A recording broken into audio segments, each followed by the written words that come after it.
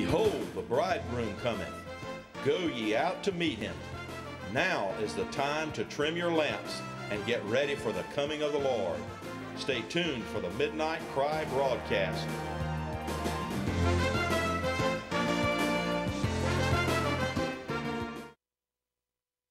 Uh, you know, I heard a, a great story this week. I read it rather. I had a, a letter from a prisoner who actually heard this in a chapel service. And I thought it was a great illustration. Let's see if I, I'll see if I can get it straight. But it seems like there was a man who was contending with a terrible smell in his house.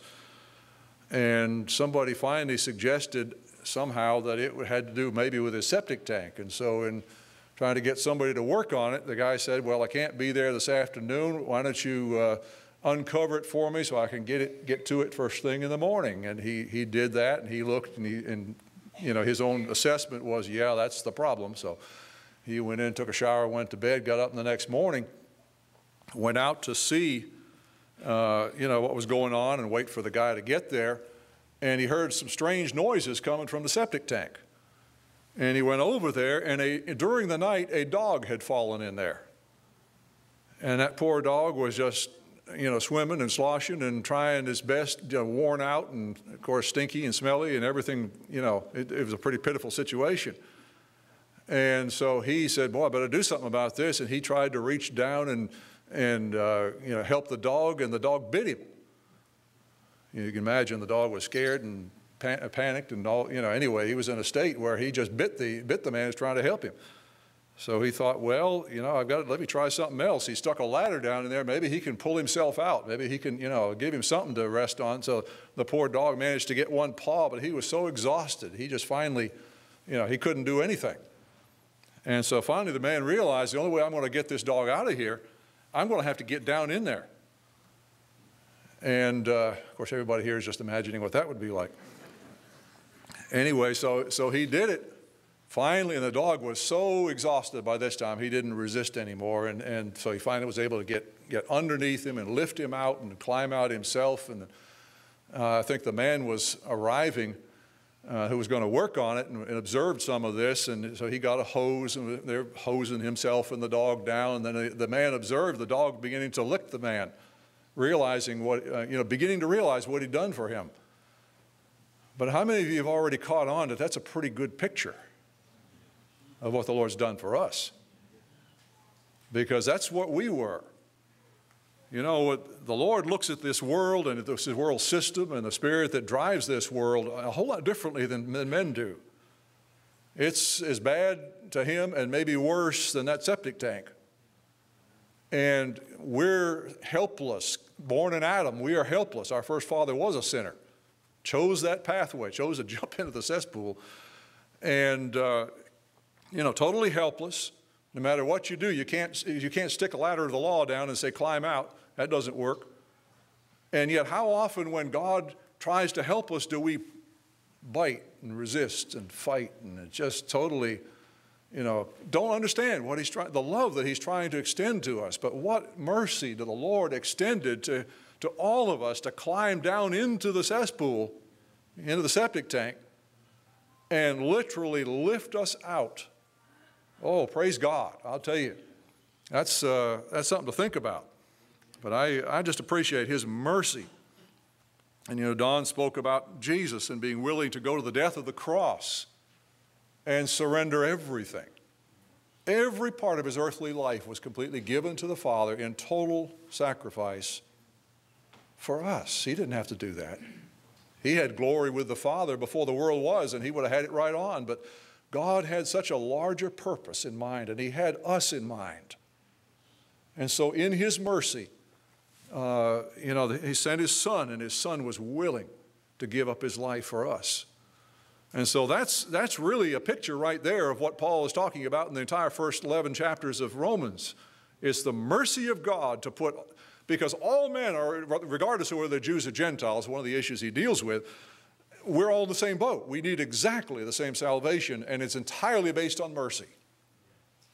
Well, then the question becomes and this is what Paul is answering from the beginning of chapter 12 till about the middle of chapter 15 is okay, what does that mean for us? what's our place? What's our responsibility? What is the proper response to what God has done? Uh, you know, we're, we're a little bit uh, further beyond the dog that licked the master's, or the, not his master, but licked the man's hand. But you know, there's a response that God is looking for. And I believe God has called us to that.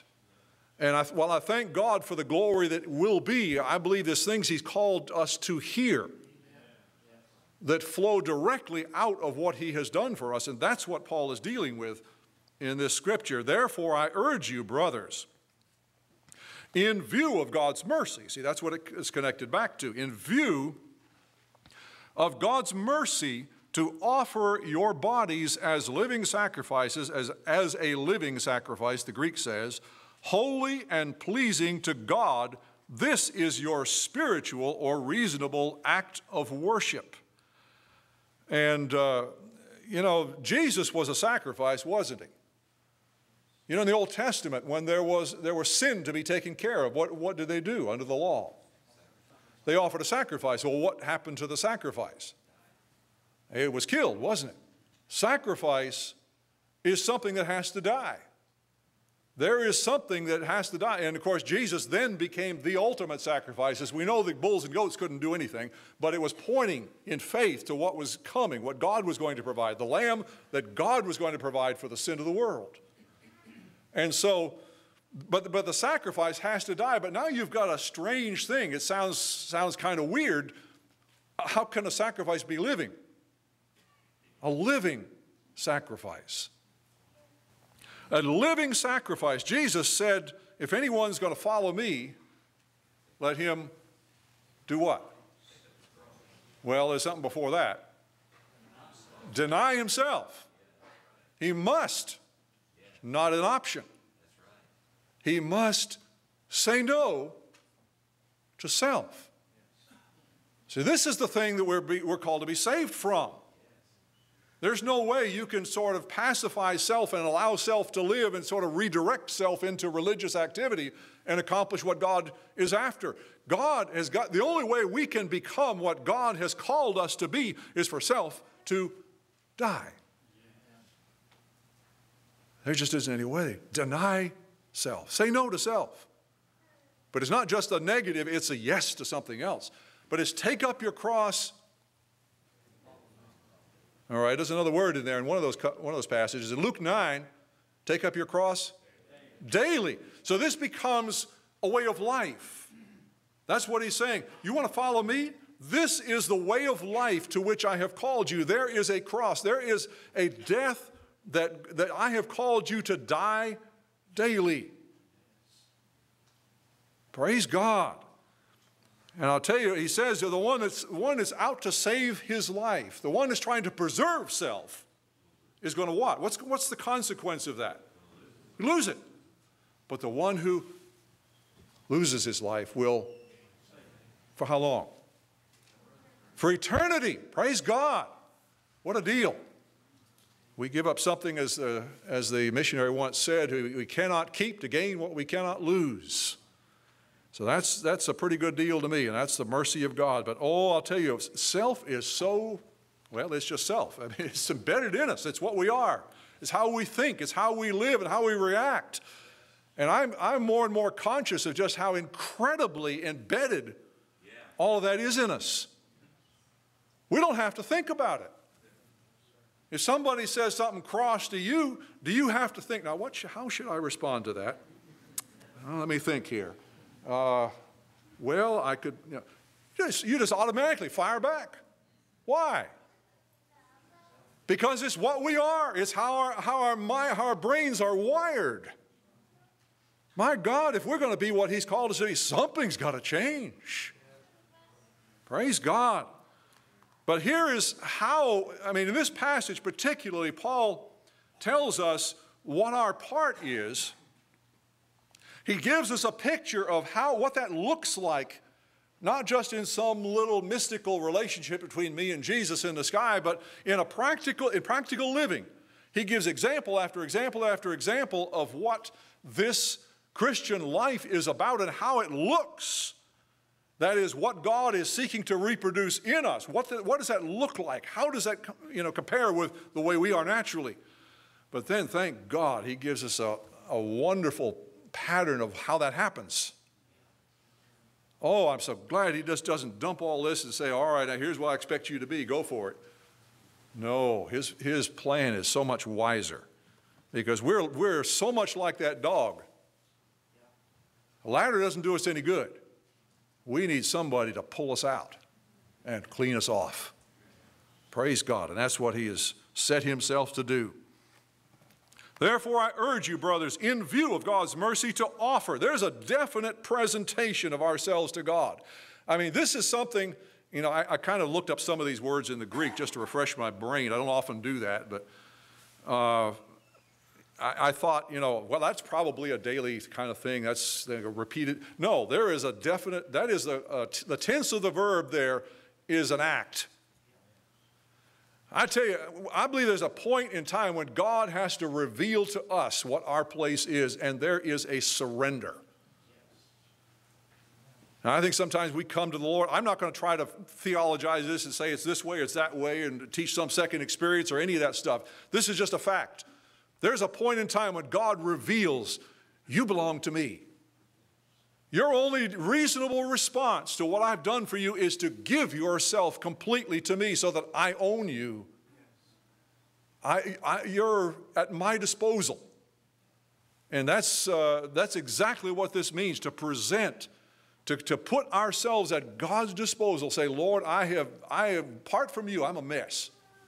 All I'm doing is swimming in a septic tank, and, and it's going to lead to death in the end but you have pulled me out. And God, I can't even clean myself off. I can't begin to be what you want.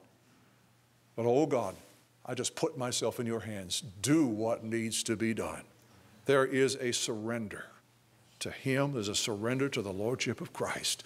To where, and this is, this is something that is so definite. This is like a burn your bridges behind me kind of thing. This is not something where you're trying it out for a while to see how it works out, because inevitably you're going to run into something where self wants its way and God says no, and you're going to say, Well, I choose self. If I can't have my way, I'm going to pack my little bags and, and leave here. I'll tell you, there is, a, there is such a vision, there is such a conviction that only God can produce in a heart where we're going to follow Him no matter what. No matter, no matter what it looks like, no matter where the path leads, no matter what difficulties and challenges, no matter what the form of death that comes, we're able to see, just like Jesus did, there's a joy that's set before me. There's a hope that's real. I'll tell you, you can't manufacture this. This is a conviction that God has to give in the heart that it's worth everything to serve Jesus Christ. It's worth my life, and I give it to him. It's a done deal. Now, we may have to sort of, you know, remind ourselves of that. There is a reminder, but I'll tell you that, that there's an act there of literally saying, Lord, I am yours. And where you and I are with respect to that may explain a lot of things in our lives. But I'll tell you what, once we pass that point and say, Lord, I, am, I have presented, I'm, I'm, I'm in, I, am I'm, I'm all the way in, Lord. I want your will. I want to, I want to live for your vision and your burden and your, your, your idea of what I need to become and just let the other go. I'm yours. And from this point on, I want to live, but it's not I, but Christ that lives in me. See, there's the living sacrifice. You got, the, you got both going on in Paul. I've, I've been crucified, nevertheless I live, a living death. But now it's different. Something's changed. It's no longer I that lives, it's Christ that lives in me. The life I live in the flesh, I'm still in the flesh, but, I, but I'm living by a different set of principles. Not just, not just principles, a different force of life is inside of me. It's doing something, it has an effect, it makes a change that comes from the inside. I'll tell you, if you're in Christ, you're, you're different. There's something in here that has changed. You cannot, you cannot ever be the same. There is a change that takes place in the heart. That doesn't mean you don't, you're not tempted, doesn't mean you're not weak, doesn't mean you don't experience all these other things, but there is something in here that is eternal and it's real. And your motivation changes, your consciousness of sin changes. And that's what God has called us to. It's not I, but Christ that lives in me. And the life I now live in the flesh, I live by the faith of the Son of God who loves me, loved me, and gave himself for me. Now, what in the world kind of religion is it where we accept his gift of his, of his everything for us and we don't give everything to him? That doesn't make a bit of sense. That's why he calls it a reasonable service. Spiritual act of worship or reasonable act of worship. This is the only proper response. So now I have given myself to Him. Now what? Now it says, do not conform any longer to the pattern of this world. Well, that's been a problem all along, hasn't it? You know, Paul describes those in Ephesians chapter 2 says you were once dead in your, in your sins. You lived in them. You followed the ways of the world. You lived for the lusts of your flesh. You lived under the power that rules over the darkness of this world. That's where you were at when god's grace began to deal with you and pulled you out. You were swimming in that septic tank but god had mercy on you and he pulled you out when you could do nothing to help yourself this is where but, but here's the thing there is constantly a pressure upon us, and it is the most natural thing in the world for us to just simply go on being what we are naturally. That's the, that's the world we live in. Every, everything that feeds in, all, nearly everything that feeds into our mind, where does the wisdom come from? Where does the motivation? Where is the, what is life about to people in this world? Does that affect anybody else here? Yeah. And the problem is, we were, we've got flesh that still likes all of that, that's still in harmony with all of that. And, and, and so easy to just kind of go along with the crowd. I'll tell you, there's tremendous pressure when you're a young person. We've all been there, uh, the ones that are, anyway, the ones of us that are no longer there. We know what it's like. Man, you want to be accepted, you want to be liked by people. Well, what's the price of that? Most of the time, it's to compromise, it's to go their way instead of to be, to be different and to say, Lord, I'm going to follow you. I'm going to, I'm going to love, I'm going to be the right kind of person, but I want you and I need you. And I'm willing to, I'm willing to step out of the crowd. In fact, you can go right back to, uh, to, to verse 1 because he describes that living sacrifice as holy, doesn't he? What does the word holy mean? What, what's the real root meaning of the word holy? There is a separation. There is a devotion, a dedication of something to a particular purpose. You know, it's no longer just for the purpose that it once served. If you go out, if a king goes out and takes somebody who's just lived a normal life and they've just been doing their own thing, and now he he, he lays his hand on him and calls him into his service and puts a uniform on him and gives him responsibilities. He's been set apart. He's not just like his old buddies. God has called us to literally be his people, separated from what this world is about. Now, that's not the same thing as saying we're holier than thou, stuck up kind of people at all, because we know why. We, we know the foundation of that is mercy. We know we're not fundamentally better than anybody else or more deserving than anybody else, but God has shown mercy. And we bow to that mercy. We say, Yes, Lord, I'm willing to, I'm willing to be yours. I no longer belong to that. That's not what I'm about. I tell you, this is what, this is what it means to follow Jesus. I'm not my own anymore. I am bought with a price. The purpose of my life is not to just live and do my own thing, it's to glorify Him. It's that my life should be pleasing. Isn't that another word that's used there? It's not just holy, separate unto Him, but pleasing. My God, what a standard. Is what I do pleasing to God? Does God look at me and smile? Of course, if you're conscious at all of your weaknesses, you're saying, Oh my God, no, He never smiles at me. He's constantly disgusted with me. No, I think God is a lot more gracious than that. But I'll tell you, He's looking at the heart. He's not looking at the perfection of where we're at at any given time because we're not there. But I'll tell you, if He sees a heart that is wanting pulling toward Him, always getting, getting back on, you know, getting off course, but getting right back on and saying, Lord, I'm sorry. I, I, this is what my life is about. Cleanse me, clean me up, help me to go forward. God is pleased with that. That's what He's looking for. He's looking for a heart that says, God, I need you and I want you. Praise God. So this is this is our part is to present ourselves. That it's a separate thing. It's a sacrifice. It's, it's, something is dying. Something is living. That's the that's the pattern of our life. Do not conform any longer to the pattern of this world. What's the alternative? But be transformed.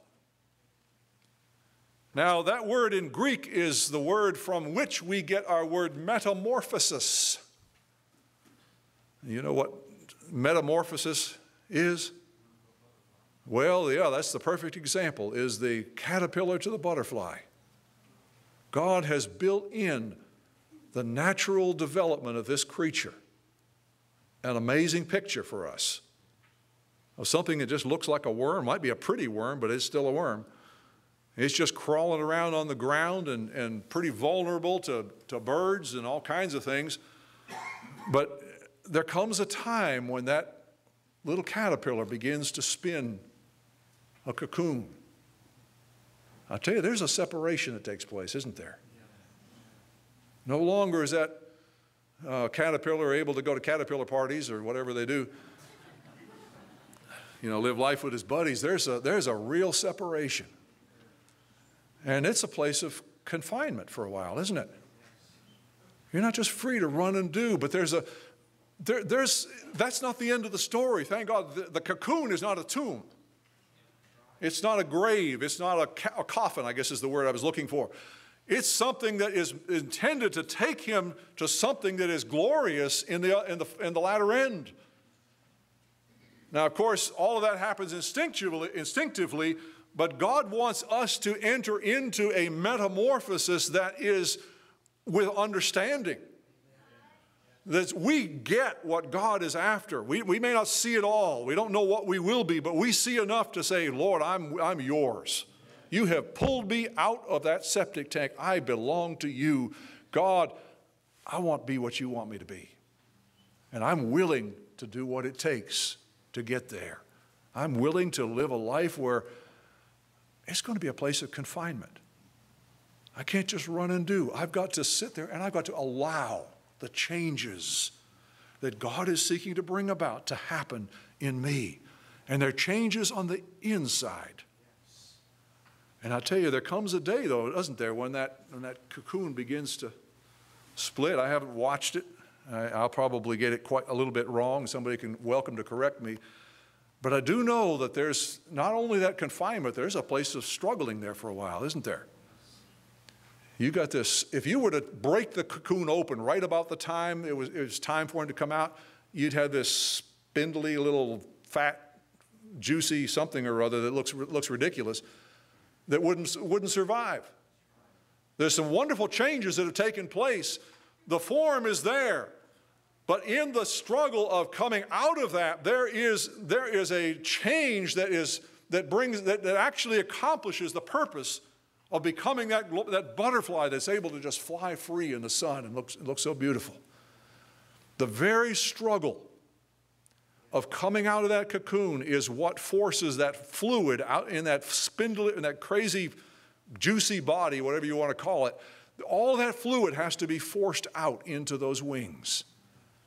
And then, then when you get done, you've got a nice, sleek little body, and you've got these wings that are beautiful. And he comes out of that thing, and it isn't long before he's in the air. What a picture of, what, of the metamorphosis that God is producing in our lives today. Folks, He's called us to something that isn't, doesn't make any sense to the world. I mean, if we're not going to be conformed to this world, we're going to have to be conformed to something different. There's a different set of values, there's a different set of everything. And how much religion in our day caters to human nature instead of confronting it and saying, I have come to deliver you. I have come to change you and make you something. God give us a vision. God give us something, a, a, an understanding that will enable us to have a commitment to, to something beyond what we have known. Because I believe God has called us to something, and it's, I tell you, there's everything in religion, it seems like, and everything in, the, in our natural way of thinking is against this. But we got one who's for it, who is the Lord of heaven. And I am determined to stand by what his word says. I tell you, the devil attacks my, my confidence and my, you know, attacks me all the time. Who are you to say these, all these crazy things? Well, I'm nobody. But they're not my things. They're not my ideas. We're talking about the word of one who cannot lie. And God has called us to believe that there is one who can take things that are not and call them as though they were because he has the power to do it. Folks, that's what salvation is all about. It's a miracle. It's doing it's it's submitting to God, allowing him to accomplish something we could never do. Well, praise God. I want to sign on, and I, don't, I, I just pray that there'll be some folks that'll go with me. And we can encourage each other along the way and, and have a true vision and not just go along. We need a revelation from heaven. We need a work of grace in the heart, and we need some, need some changes to, to happen here. And that's what this is about in this particular verse. Do not conform any longer to the pattern of this world, but be transformed. Now, I'm going to go ahead and, and just uh, give you a couple of things from the Greek here. Interesting, the, the word be transformed. First of all, that is a present tense verb. Now, some of you will recall from other times when we made, a, made this point, a present tense verb in the Greek, the simple present, is what? It's a continuous thing, isn't it? So we're not talking about something that happens and then it's done. We're talking about be transformed as an everyday right through your entire life kind of, kind of thing. This is, this is a way of life in which change is constantly happening here and here. If I'm going to become someone who can walk in the rest of this passage, and you read it, I'm go- there are going to have to be some changes. And it's going to have to start with the way I think so that instead of acting and reacting according to the way the world dictates and the way my, my, the nature I was born with dictates, I'm going to start reacting like Christ. That's, that needs to be a way of life with us. If we're not living a life of sensitivity where God can actually talk to us and, and show us the degree to which self, self rules, then what else, what's, what's happening? Nothing.